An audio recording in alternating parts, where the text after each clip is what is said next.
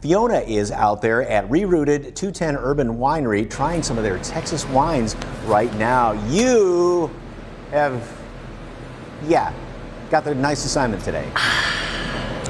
I sure did, Mike. Okay, you got the pizza, but I've got the wine and the charcuterie. We'll get to all that in just a little bit. But having an urban winery at Hemisfair comes with many perks. And joining me to talk about those perks is the owner of Rerooted 210 Urban Winery and certified sommelier, Jennifer Beckman. Cheers. Cheers. Nice to have you in. This is such an incredible space. Very, Thank very you. cool to be here. And one of the most interesting things about this winery is that your wines are on tap. Yes. First wine in a box, now wines on tap. Tell us why.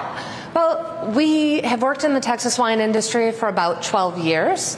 Uh, one of the things that really upset me was that we saw a lot of waste when going into bottle. And while many wines need to be in bottle for long term aging, most don't. Uh, so we estimate that we cut our carbon footprint in glass use and waste by almost 65% when you factor in uh, being able to pour directly into glass from tap into samplers without having to just use that bottle as a wasted receptacle. Uh, we also serve our wines to go. Uh, we use traditional growler bottles, uh, much like a beer growler.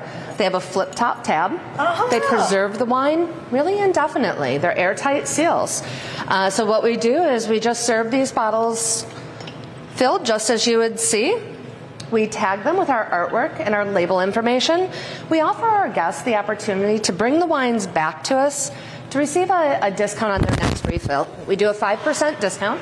When you bring the wines back, they're able to be fully sanitized and put back into reuse. So, all sustainability, so even less guilt while you're enjoying your wine. And kind of walk us through, because these are all Texas wines, right? Absolutely. So uh, we currently carry uh, just about all Texas wines across the board, with a few exceptions of a few international wines to show really the relationship between the grapes where they're most natively from and grapes here from Texas.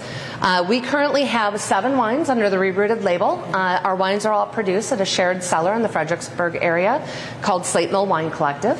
Uh, we have two whites, one rosé, and then we have several wines here from other producers, uh, featuring wines from Kuhlman Cellars in Fredericksburg, Vinovium Cellars, and uh, Wine for the People, which has a Dripping Springs tasting room. In addition to the wines, uh, we're able to carry several ciders.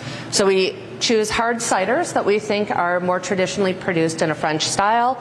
Uh, Texas Keeper out of the Austin area is really one of our favorites to work with. They do dry style ciders that are really creatively done.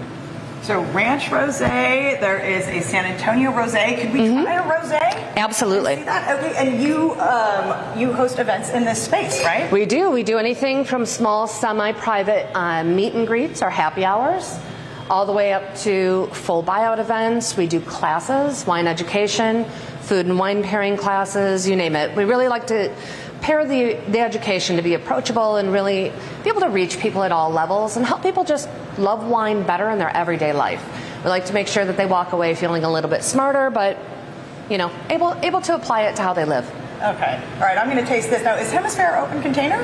Hemisfair's open container, so uh, anywhere within the boundaries of Hemisfair, you can take wine to go. Uh, we have small wine to go glasses. Uh, they just pop apart.